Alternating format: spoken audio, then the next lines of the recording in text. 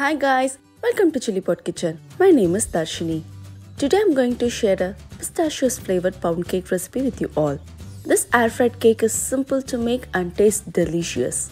If you are new to my channel, welcome. Looking for more instant pot or electric pressure cooker, air fryer and instant pot blender recipes? Subscribe to my YouTube channel for more easy, healthy and tasty video recipes. I post new videos every Friday. Please do click the notification bell icon to get an update on my new videos. Let's get started to see how to make pound cake in the air fryer. Check on the ingredients, take a screenshot of ingredients or check the description box below for the written recipe.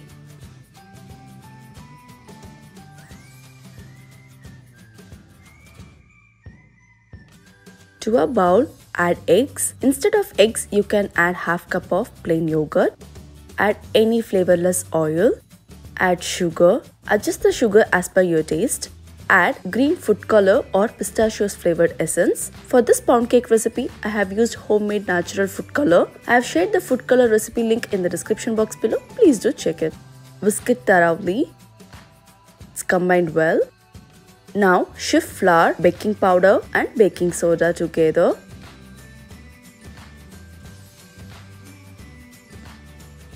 Add a pinch of salt. This will enhance the taste. Give it a mix. Now add milk and whisk it well.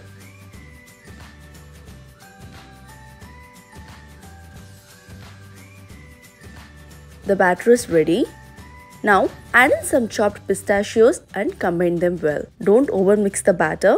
Grease the pan and line the pan with parchment paper. Pour in the prepared batter.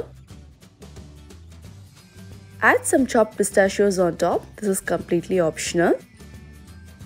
Cover the pan with foil. This helps to cook the cake evenly. Next, preheat the air fryer for a couple of minutes at 350 degree Fahrenheit. My air fryer preheats itself so I'm selecting the cooking time as 35 minutes. Once the preheating is done, let the cake bake for 20 minutes, then remove the foil and bake it again for the remaining 15 minutes.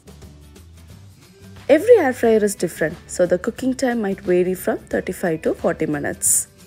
It's done.